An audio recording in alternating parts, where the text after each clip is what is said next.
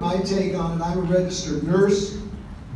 And I don't think I ever worked a single shift at a hospital in which I wasn't taking care of somebody in a hospital bed, at least partly due to their use of alcohol.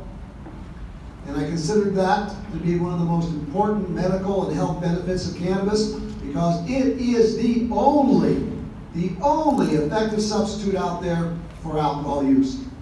You know, people like to alter their consciousness.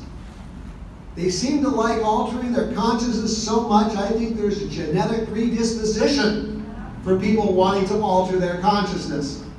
And we need to give them something else. And that something else is cannabis. All kinds of studies have shown that when cannabis is easily and widely available, alcohol consumption goes down. And that is a very beneficial thing for the health and safety of our communities.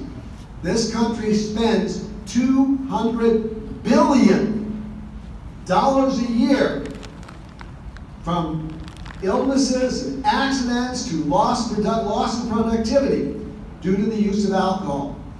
We've got to let people, people want to celebrate, people want to party, people want to socialize, let them use cannabis.